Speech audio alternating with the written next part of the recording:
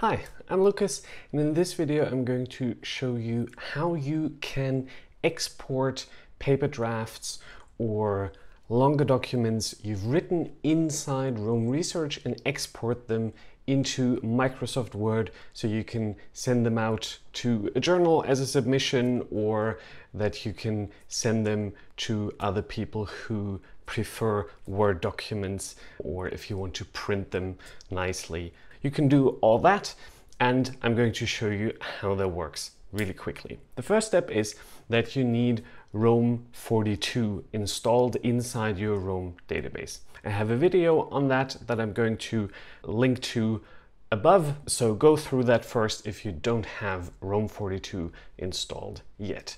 The second step then is to go to this page here on GitHub linked below this video and download the zip file that you see here.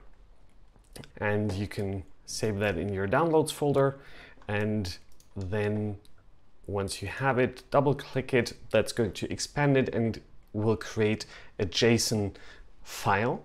And then you switch to your Roam database and click up here the three dots in a line, the ellipsis, and click import files. And then you choose files and you choose that JSON file that we just created. Import that one file that's going to upload it and it's going to create a page for that. You go to that page and then you have to do one small configuration step is that you go here and uncomment the lines 12, 13, and 14, and you do that by removing the forward slashes. And what you will also see is that you have this uh, red field here that you need to activate the JavaScript. And so you click yes, I know what I'm doing, and then you reload your Roam database to make sure that is correctly configured and then you can use it. And I'm going to show you how that works. We're going to go to this page, which is a fantastic speech by John F. Kennedy.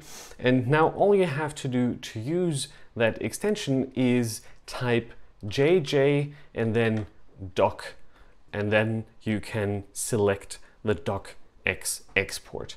You hit enter and you see down here a Word file is downloaded. Uh, you open that and ta-da, you have the whole content of this Roam page as a Word file ready to go.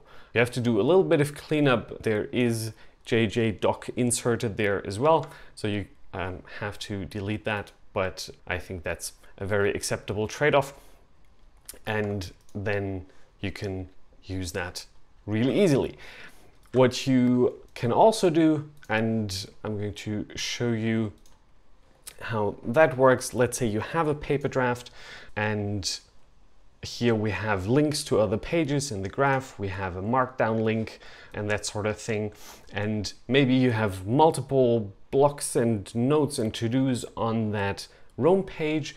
So what you can do is you can focus on the a block that has nested under it all the content for that one single draft, for example.